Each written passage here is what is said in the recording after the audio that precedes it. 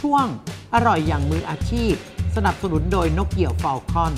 คุณผู้ชมครับ ขนมรังผึ้งอัลมอนด์แล้วก็ลูกเกดเนี่ย บางท่านเขาก็ทำได้นะ แต่ว่าพอเย็นแล้วมันกระด้างแล้วไม่อร่อย แต่วันนี้ของอาจารย์ยิ่งศักดิ์ไม่เป็นอย่างนั้นแน่นอนคุณผู้ชมครับ เพราะว่าอาจารย์ยิ่งศักดิ์ใช้นมข้นจืดตรานกเหยี่ยวฟอลคอน ผลิตภัณฑ์คุณภาพจากผู้ผลิตเดียวกับโฟร์โมสต์แล้วก็ยังใส่ครีมเทียมข้นหวานตรานกเหยี่ยวฟอลคอนด้วยนะครับรับรองได้นุ่มละมุนหวานหอมแล้วก็อร่อยอร่อยครับ วิธีทำขนมรังผึ้งอัลมอนด์ลูกเกดเริ่มจากผสมแป้งสาลีอเนกประสงค์แป้งข้าวเจ้าเกลือป่น และผงฟูเข้าด้วยกันเตรียมไว้นะครับ ใส่ครีมเทียมข้นหวานตรานกเหยี่ยวฟอลคอน ลงในภาชนะตามด้วยนมข้นจืดตรานกเหยี่ยวฟอลคอน และน้ำตาลปี๊บคนผสมให้เข้ากัน จนน้ำตาลปี๊บละลาย จากนั้นเติมแป้งที่ผสมไว้ ตามด้วยไข่ไก่ ใช้ตะกร้อมือ คนจนเป็นเนื้อเดียวกัน อุ่นเครื่องทำขนมรังผึ้งให้ร้อน ทาด้วยน้ำมันพืชเล็กน้อย ตักแป้งที่ผสมไว้ใส่ลงในเครื่องทำขนมรังผึ้ง โรยหน้าด้วยลูกเกดดำและอัลมอนด์สไลซ์ให้ทั่วแล้วก็ปิดฝาเครื่อง